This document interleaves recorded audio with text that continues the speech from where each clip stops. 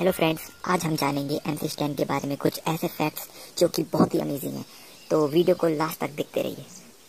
Fact number one जब M M बंटाई ने M C stand को डिस किया था, तब कुछ लीगल इश्यूज़ के कारण एम स्टैंड जेल में थे। लेकिन जब एम सी स्टैंड को पता चला कि एम ने उन पर डिस सॉन्ग लिखा है एम स्टैंड ने जेल में रहते हुए ही एम बंटाई पर एक डिस सॉन्ग क्रिएट किया जिसका टाइटल था खुजामत फैक्ट नंबर दोस्तों एम सी स्टैन एलियंस पर बिलीव करते हैं। वो ये मानते हैं कि एलियंस एग्जिस्ट करते हैं इस दुनिया में।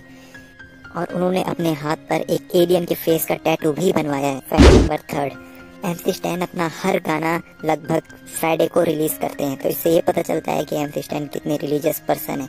Fact number fourth M C Stan ने इंस्टा के लाइव सेशन में ये रिवील किया है कि उनके पास 80 से भी ज़्यादा अनरिलीज सॉन्ग अभी पड़े हैं। जिन्हें उन्होंने पूरी तरह से रिलीज़ करने के लिए तैयार कर चुका है। Fact number five M C Stan के इंस्टा पे वन मिलियन से भी ज़्यादा फॉलोअर्स हैं।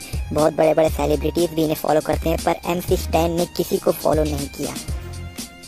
फैक्ट नंबर सिक्स जानने से पहले अगर आपने चैनल को सब्सक्राइब नहीं किया है तो चैनल को सब्सक्राइब कर लें और अगर वीडियो ये पसंद आ रही है तो इसको लाइक भी कर लें। फैक्ट नंबर सिक्स ने दस से भी ज़्यादा हेयर स्टाइल्स अडॉप्ट किए हैं और लगभग ये अपनी हर वीडियो में अपना हेयर स्टाइल चेंज करते हैं। एम सी स्टैन एक बहुत ही ज़्यादा फैशनेबल आर्टिस्ट है।